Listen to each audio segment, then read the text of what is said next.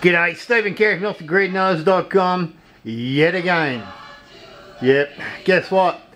I'm actually sitting inside listening to a bit of John Lennon actually. Power to the people. This video, quick video, I'm going to make this really short, right? That um, screenshot on my computer tells it all. It's about batteries. And this is about the issue. Batteries are a very complicated thing. One issue that does get lost though is with all the advice that's put up, a lot of people will go run 12 volt, run 24 volt, run 48 volt, and they do that very definitively. And that's okay. No, seriously, that's okay. Myself and Kerri, as I've put in many videos, we are very 12 volt oriented. All of the lights that are up there, yeah. Look, we run 12 volt we run every light on the property, which is about 40 or I don't know, I think it's about 50 nearly LEDs. We run them off standalone 12 volt. But when it comes to your main battery bank, this is the point of this video. It's not to do with whether you've got the best battery bank or whether you should buy the most expensive battery bank. It has nothing to do with that. It's purely about the math, alright? So all the naysayers, freaking pull your head in. I nearly said the other word then, but I didn't freaking pull your head in. This is about the math, and this is for the new people. If you read a post that says, yes, put a 48, 48 volt battery bank in, that's all very good. That one on screen is ours. It is a 24 volt battery bank, and without going into all the details I've put up plenty of times, it is um, only under $2,000 for a used Telstra, ex-Telstra battery bank. That's irrelevant. The bottom line is battery banks will cost you from next to zero for 12 volt right up to money that myself and Kerri can't even comprehend but a lot of people do pay. Right I'm going to do some quick math here right? So listen bug you if you can't understand the math run the video back three times. I'm not going to answer questions down the bottom. I'm ser uh, seriously run the video back. The simple math. If you want to put 48 volt together in a gel or gel mat or a lead acid battery in a standard what you would call an orthodox off-grid setup. I say orthodox very loosely. A lot of people do this. They put 2 volt cells in. You do the math. 24 volt you need 12 of them suckers right? 12 so whatever battery you look at you need 12 volt if you're going to do uh, lithium ion or one of the newer batteries which are far better batteries but the cost, again, this is what this video is about. They're 1.2 volts on average usually. If you put a big battery bank together, you're going to need about 40 of them. Now, a standard lead acid 2 volt battery, eh, you can get them for about you know, 600, 700 bucks these days. A lithium ion at 1.2 volt, yeah, you'll get a 500 amp hour battery. I'm not going to go into a great deal of detail. A 500 amp hour lithium ion battery bank will give you quite a lot of extra bang for your buck. But it takes 40 1.2 volt batteries to pull up 48 volt. Oh, John's getting really loud. I'm going to have to turn that down. Go to Kerri's computer. yeah, you love the music, but you know, sometimes, yeah, give peace a chance. Can't find the thing. That's better. Okay, back to what I was saying. In lead acid, gel mat, whatever, 2 volt cells will run you about 600 bucks. You probably get a 1000 amp hour one, but remember with gel and mat and lead acid, uh, you only get about yeah, 40% discharge rate before you do, start doing the battery's damage.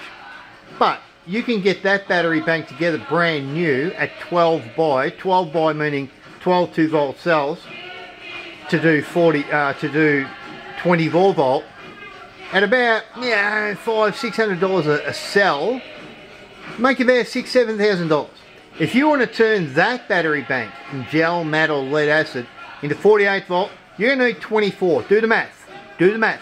24 by maybe 600 well I don't know about you but I'm thinking it just hit the 10 grand mark and I'm leaving the room. Okay lithium ion you want to do a 24 volt lithium ion, you're going to need about 20 batteries to do 24 volt. 24 batteries at 600 bucks. Again, do the math. It left the 10 grand mark, it left me right behind. but I get all too many questions put up on our platforms about 48 volt systems. They are great. They are the bee's knees. They are the most efficient. I cannot and will not ever knock a 48 volt system. They can be done many ways. You can buy a 12 volt battery, throw four of them in in uh, in line, so to speak, because I know the people, if you're new, you don't understand shit. But you need four of them basically to get a 48 amp, 48 volt system up. So you might buy 160 amp hour batteries, and when you hit, hook four of them together, you've still only got 160 amp hours. But you have 48 volt, which is a really efficient way to go. Those batteries will probably cost you a lot of money. So, the point of this video, apart from listening to John Lennon, it's about 1,000 degrees outside. Otherwise I would have stood in the shed and done this in the heat, but it's been about like nearly 40 degrees today, so you know, get the flop over it. The bottom line, bottom line, whenever you're looking at batteries and people go, go 48 volt with lithium ion, stop and do the math. You may have 10, 15, 20 or more thousand dollars to spend. Great. Kumbaya. We'll all run around the fire naked and freaking sing Kumbaya till we're blue in the face because we don't hold that against you. But if you are new and you have not got 10, 20, 30, 40 grand or whatever to spend, don't just take a post that says 48 volt are the bee's knees. They are, but they come at a cost. I'm going to run it back really quickly and I'm going to shut this down I hate making epics. I'm trying not to make epics, but it does get a bit hard because I like the music. John's really good, you know. Freaking hot day. I got the aircon going, so I'm not bitching. Yeah, we got the evap cooler running. We got the evap cooler running on that lousy battery bank there, which is only a $1,800 battery bank. Yeah, you can do a whole lot of shit on 24 volt for a lot, not a lot of money. But the math, the math, back quickly. Repetition is the key to learning. 2 volt cells, multiply the 2 volt by whatever voltage you want to come out the other end to shove into your inverter. Okay, so you got 2 volt lead, you got 2, 2 volt gel mat, you got 2 volt whatever. You're going to need 12 of them to get 24 volt, you're going to need 24 of them to do 48 volt.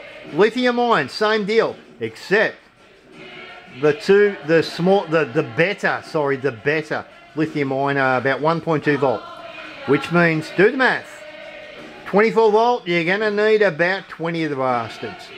48 volt, you're to need nearly 40 of them. Do the math, go on Fleabay, look at the prices. 1.2 volts really good, they're only 600 bucks, but you need 40 of them. Do the math, $24,000. And on that note, and you'll probably go, oh, but what's he talking about? Well, guess what? Replay the bloody video. Cheers from Stephen Carey from OffTheGridInOz.com with which battery do you buy? 2 volt, 1.2 volt, 24 volt setup, 12 volt setup. We love 12 volt. 48 volt setup because every bugger said go 48 volt. Well then, stick your bloody YouTube on, look up batteries, play this back. There is some mathematics here you may want to look at before you start passing judgment on all the advice that buggers like me put up and some other buggers that have got bigger checkbooks than me. It's a checkbook thing. It's a math thing. And it's cheers to Stephen Carey from OffTheGridInOz.com and I'm yelling! no, I'm just yelling because it really sounds good. and I like to give you a freaking laugh. The laughs come from nothing, for nothing. I don't charge for this shit. Have a laugh, listen to the music, bitch about the music in the background. If you want to know the math, play the bloody video back. Cheers from me, cheers from Kerri, and cheers from Jess who's down there flat out licking herself because she's in the air conditioned comfort on a 3 kilowatt system running on a lousy second-hand $1,800 battery bank on 3 kilowatt. You can't do that. You need 48 volt. And now I should shut up. Catch you guys. Bye.